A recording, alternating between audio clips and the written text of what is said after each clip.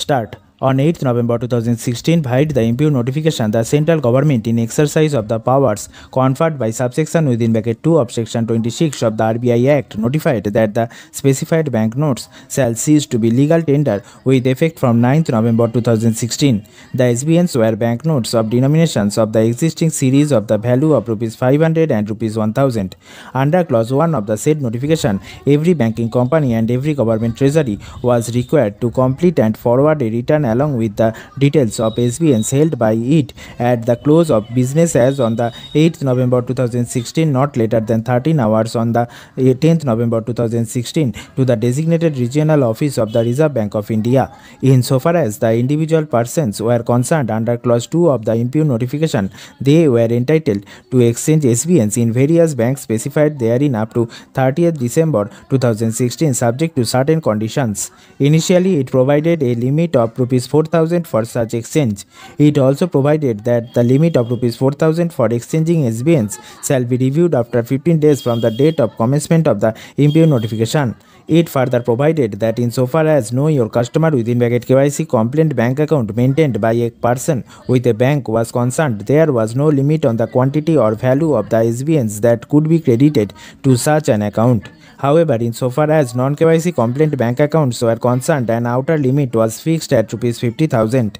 There were certain other provisions made under the impugned notification. By another notification of the event date, various other relaxations were granted whereunder SBNs could be used for making payments in government hospitals, pharmacies, railway booking centers, for purchases at consumer cooperative stores, milk booths, purchase of petrol, etc. The said relaxations were to be valid till 11th November 2016.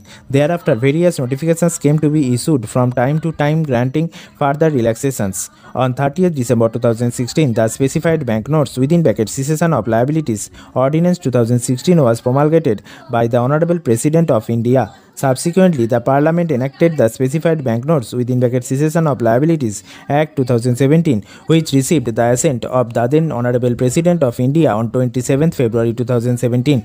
Section 3 of the 2017 Act provides that on and from the appointed day, notwithstanding anything contained in the RBI Act or any other law for the time being in force, the SBNs which had ceased to be legal tender in view of the impugned notification of the Government of India shall cease to be liable responsibilities of the RBI under section 34 of the RBI Act and shall cease to have the guarantee of the central government under subsection within bracket 1 of section 26 of the RBI Act.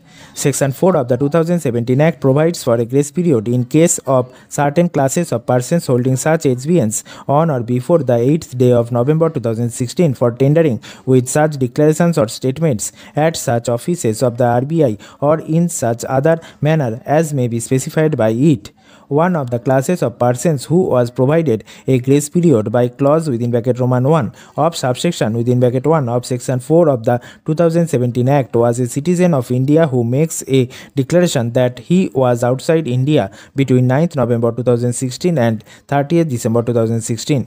Clause within bracket Roman 2 of subsection within bracket 1 of section 4 of the 2017 Act also provided a grace period for such class of persons and for such reasons as may be specified by notification by the central government. Stop.